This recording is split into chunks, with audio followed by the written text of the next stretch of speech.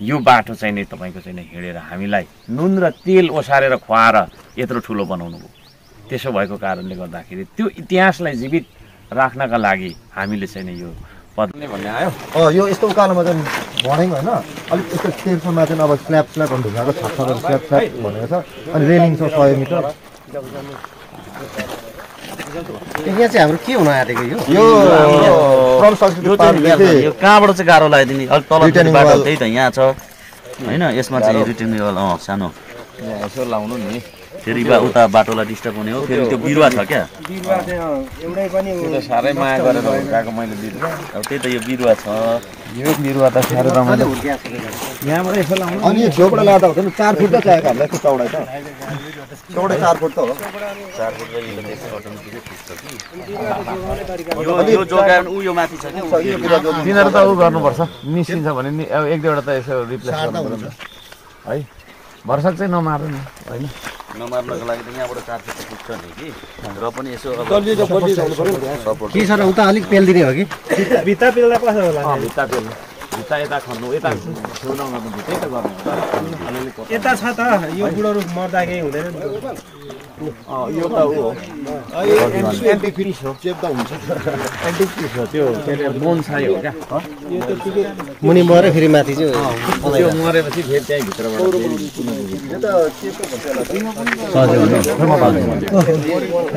मर्दैन सजिलो नै त्यो चाहिँ डल्लाई चाहिँ देऊ न डल्लाई चाहिँ देऊ त्यहाँ पुरै अनि के छ त अनि यो के के छ यहाँ खोइ मान्छे हाम्रो श्रीनिवास गर्दाको फेदाङमा जहिले हो जान्नेहरू पनि नि त मजाले बनाउनु यो यो सुरुमा दियो बालु बालु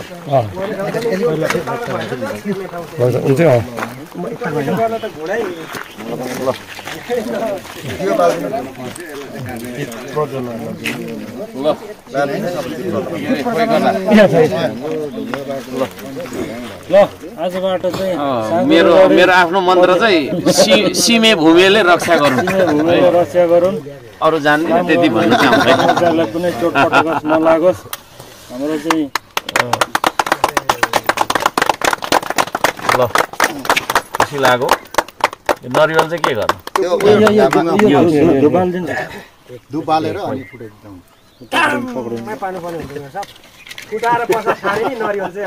दियोको युज गर्दा नरिवल साँच्ची फुटाइन्छ मात्रै पर्सा चाहिँ कसले खान्छ?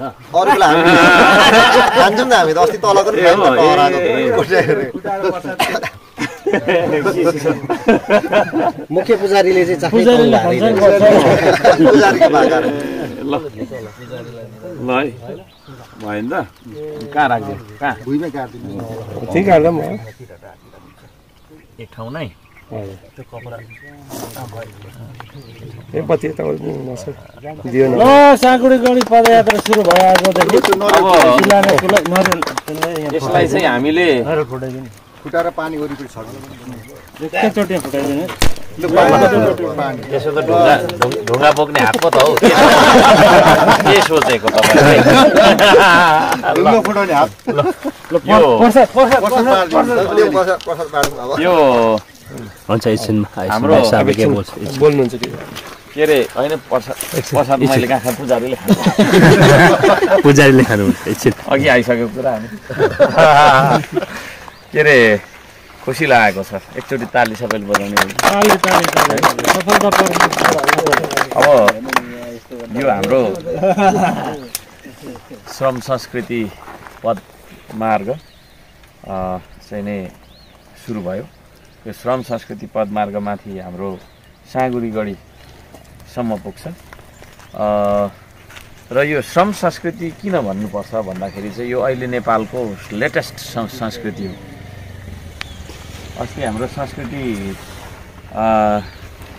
तपाईँको चाहिँ नि पर्यटन तथा नागरिक उड्डयन मन्त्रीज्यूलाई मैले उहाँ यहीँ यहीँ आएर यहीँनिर बोकिया हो। पहिला गर्नुभएको थियो। उहाँलाई पनि अत्यन्तै मनपर्ने है? र हामी सबैलाई मनपर्ने उहाँलाई मनपर्ने भन्दा पनि हामी नेपालीहरूलाई मनपर्ने एउटा नयाँ संस्कृति श्रम संस्कृति छ। त्यो श्रम संस्कृति चाहिँ हामी सबैको संस्कृति हो है? यही एउटा संस्कृतिले मात्रै देशलाई चाहिँ समुन्नत बनाउन सक्छ भन्ने हाम्रो चाहिँ नि अब साझा बुझाइ हुनुपर्छ। म त्यो पनि भन्न चाहन्छु र आज यो चाहिँ हाम्रो उद्घाटन शिलान्यास भएको छ। यहाँबाट चाहिँ हामी अब अल द वे माथि साँगुरीगढीसम्म चाहिँ यो बन्छ। प्रत्येक साल बन्छ। मैले संस्कृति मन्त्रीज्यूलाई पनि यसको बारे यसको लागि बजेट विशेष गरी गरिदिनु होला भनेर भनेको छु। उहाँ एकदम सकारात्मक हुनुहुन्थ्यो। एकचोटि फेरि उहाँलाई हामी स्मरण गराउँछौँ। र यसमा चाहिँ नि सालै पछि बजेट पनि अब हाम्रो चाहिँ नि यहाँनिर विनियोजन हुन्छ। प्रदेश सङ्घ सबैले स्थानीय सबैले। र यसलाई चाहिँ हामीले साँगुरीगढीसम्म किन पुर्याउनु जरुरी छ भन्दाखेरि यो हाम्रो इतिहास हो। हाम्रो बाबुबाजेले हामीलाई नुन र तेल बोकेर यो धरानमा त तपाईँको चाहिँ नि खासै बस्ती थिएन त्यतिखेर। हामी सबै पाहाडबाट आएका मान्छे होइन कोही ताप्लेजुङबाट आछौँ कोही तेलथुमबाट आछौँ कोही भोजपुरबाट आछौँ कोही खोटाङ कोही शङ्खसम्म यस्तै ठाउँहरूबाट यस्तै जिल्लाहरूबाट चाहिँ नि हामी आएर बसोबास गरेको मान्छेहरू धरानमा हामी छौँ।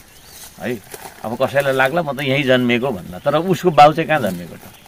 उसको बाउ पनि ल यहीँ जन्मेको उसको बाजे कहाँ जन्मेको भन्दाखेरि हामी सबै पहाडी इलाकाबाट आएका छौँ र ती पहाडी इलाकामा बस्ने हाम्रो पूर्वजहरूले यो बाटो चाहिँ नि तपाईँको चाहिँ नि हिँडेर हामीलाई नुन र तेल ओसारेर खुवाएर यत्रो ठुलो बनाउनु भयो। त्यसो भएको कारणले गर्दाखेरि त्यो इतिहासलाई जीवित राख्नका लागि हामीले चाहिँ नि यो पदमार्ग चाहिँ नि बनाउने भन्ने छ। पर्यटन भन्ने बित्तिकै खालि गाडी घोडा र भवन भन्ने यो खालको चाहिँ बुझाइ एकदम गलत छ। है? पर्यटन भन्ने बित्तिकै पहिला पहिला चाहिँ नि धेरै तपाईँको विदेशीहरू है खैरो कपाल भएको सेतो छाला भएको मान्छेहरू ट्रेकिङमा आउँथे। अहिले ट्रेकिङ छैन है कहाँ जाओस्? गाडी त उसकै देशमा कति छ कति छ होइन? उसकै देशमा भवन त कति छ कति छ। मान्छे तपाईँको चाहिँ घर हेर्नु आउँदैन पर्यटकहरू। पर्यटकहरू हेर्न आउँछन् यहाँका हाम्रो प्रकृति र यहाँका हाम्रो संस्कृति। त्यसो भएको कारणले गर्दाखेरि त्यो संस्कृतिलाई हेर्न त्यो पर्यटकलाई पर्यटनलाई हेर्दाखेरि हाम्रो चाहिँ नि अब एउटा पदमार्ग सुरु हुन्छ। एक्सर्साइज पनि हुन्छ पर्यटन पनि हुन्छ होइन? साँच्चै हाम्रो चाहिँ नि यो चाहिँ नि संस्कार हाम्रो संस्कृतिहरूको जानकारी पनि उहाँहरूले पाउनुहुन्छ। यो विभिन्न ठाउँमा हामी है हाम्रो आरा काट्दै गरेको धरान हामी यहाँ बनाउँदैछौँ। अब यहाँबाट सुरु हुन्छ। यो बृहत योजना हो। है कसैले भन्छ "आ, बिरुवा मात्रै रोप्यो पानी पाइप त। होइन बृहत छ योजना हाम्रो अब यो चाहिँ नै बाट बाटोमा तपाईँको चाहिँ नि जाँदै जाँदै गर्दाखेरि हाम्रा विभिन्न खालका चाहिँ नि होइन इतिहासलाई झल्काउने प्रतिमूर्तिहरू हाम्रो बन्दै जान्छ। स्याट्ट गयो माथि तलामा गलिराखेको बेला त आहा है के पो देखिन्छ है एक खालको नि एक खालको मूर्ति एक खालको के? फेरि माथि गयो गलिरह फेरि राम्रो कुरा। यसरी चाहिँ मान्छे रमाउँदै रमाउँदै रमाउँदै रमाउँदै होइन हिँड्छन् र स्वास्थ्य लाभ गर्छन्।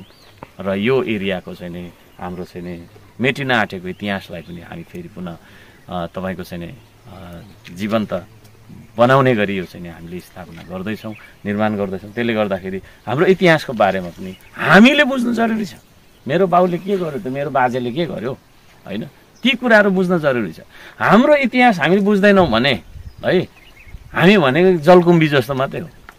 जलकुम्बीको जरा पनि हुँदैन जतासुकै फैलिन्छ कता कता कुद्छ। हामी भनेको चाहिँ कस्तो भन्दाखेरि रुख जस्तो बन्नुपर्छ। हामी जहाँ पुगौँ तर हाम्रो जरा के हो कहाँ हो के कता हो? मेरो बाउले के गर्यो मेरो बाजेले के गर्यो भन्ने कुराहरू हामीले बुझिराख्नुपर्छ। त्यसलाई भन्छ तपाईँको चाहिँ एउटा जीवन र त्यसलाई भन्छ एउटा संस्कृति त्यसलाई भन्छ एउटा चाहिँ नि इतिहास जस्तो मलाई लाग्छ। र चाहिँ नि हामी त्यो खालको चाहिँ नि महत्त्वका साथ यो बनाउँदैछौँ। यसलाई चाहिँ यसरी नै अत्यन्तै महत्त्वपूर्ण यो चाहिँ नि पदमार्ग हो भनेर हामी सबैले स्थापना गर्नुपर्छ। है हामी सबैले त्यो स्वीकारेर प्रचार गर्नुपर्छ। त्यो स्वीकार गर्नु पनि पर्छ। है हामीले चाहिँ नि महत्त्व दियौँ भने एउटा ढुङ्गा पनि खोलाको ढुङ्गा पनि मन्दिरमा गएर चाहिँ नि देवता बन्न सक्छ। महत्त्व दिएनौँ भने केही पनि होइन के हो? है? म को हो र? तपाईँ को हो र? है हामी के हो र? केही पनि होइन। यो के हो र? तर हामीले महत्त्वका साथ ग्रहण गर्ने हो भने एउटा सानो ढुङ्गा है पनि त तपाईँको नि हिरा मोती हो नि है त्यो हामी हिरा भन्छौँ। है द मोस्ट एक्सपेन्सिभ म्याटर होइन material on the earth is diamond अब त्यो डायमन्ड भनेको के हो त? खासमा त त्यो ढुङ्गा मात्रै हो। ढुङ्गा त हो त्यो। तर त्यसको महत्त्वले त्यसलाई हिरा बनायो। यसरी नै हरेक कुराको महत्त्व बुझ्न जरुरी छ भन्न चाहन्छु। र यसलाई हामीले जति पनि यहाँनिर चाहिँ निर्माणमा जुट्नुहुने हाम्रा निर्माण अ, का चाहिँ साथीहरू तपाईँहरूले पनि त्यसरी नै महत्त्वका साथ है हरेक कुरालाई म चाहिँ महत्त्व भावनासँग जोड्न चाहन्छु क्या। अब जस्तै मैले यो बिरुवा रोप्न लाएँ मान्छेलाई के भनेर रोप्न लाएँ भन्दाखेरि तपाईँको बाजेलाई सम्झेर रोप्नुहोस् है तपाईँको आमालाई सम्झेर बाबालाई सम्झेर जो चाहिँ बितेर जानुभयो त्यो सम्झेर रोप्नुहोस् भने त्यसले गर्दाखेरि हेर्नु न यहाँ मन म नआएको कति भयो? एक महिनै भइसक्यो। र पनि यहाँ दैनिक मान्छे आएर पानी लाउँछन्। किन त भन्दाखेरि यो कुनै न कुनै व्यक्तिले त्यही सोचेर रोप्नु होला। त्यसरी नै तपाईँहरूले पनि ए तपाईँको राजाको काम कहिले जाला घाम भन्ने किसिमले होइन। है त्यो महत्त्वका साथ त्यो स्पिरिटका साथ तपाईँहरूले पनि हरेक ढुङ्गा है हरेक के के तपाईँहरूले जोड्नु पर्ने हो त्यसरी जोडेर जानु होला म निर्माणमा सहभागी साथीहरूलाई पनि त्यो भन्न चाहन्छु। है जीवन भनेको महत्त्व हो। महत्त्व बुझेनौँ भने केही पनि होइन जीवन भने त्यसले गर्दाखेरि त्यो महत्त्वका साथ यहाँहरू जानु होला। यहाँहरू सबैलाई म धन्यवाद दिन चाहन्छु। हाम्रो उपभोक्ता समितिका पदाधिकारी तथा सदस्यहरू यो निर्माणमा लाग्नुहुने निर्माण व्यवसायी ठेका चाहिँ लिने साथीहरू र हामी श्रम गर्ने दुई चारजना श्रम गर्नु त आइ नै रहन्छौँ किनभने श्रम त ठुलो कुरा हो। यो यसको नामै श्रम संस्कृति पदमार्ग हुँदैछ भने हामी पक्कै पनि होइन यसलाई पनि त्यसरी नै हामी बुझ्नेछौँ। हाम्रो साथ सहयोग रहने नै छ। सबैजनालाई धन्यवाद दिँदै यति भन्न चाहन्छु। हस् धन्यवाद नमस्ते। र मेरो साहब यो पदयात्रा यो पदयात्रा जुन साङगुडीसम्म हुनेछ र मेयरहरूको साम्बाङज्यू यो शिलान्यास गरेर फर्किसक्नुभयो र यो रुट अब यहाँ श्रम संस्कृति पार्क धरानबाट हुँदै धनकुटा निस्किनेछ साङगुडी। र त्यसको आज शिलान्यास गर्नुभयो। यो पद यात्राको लागि बनाइनेछ यो रुट।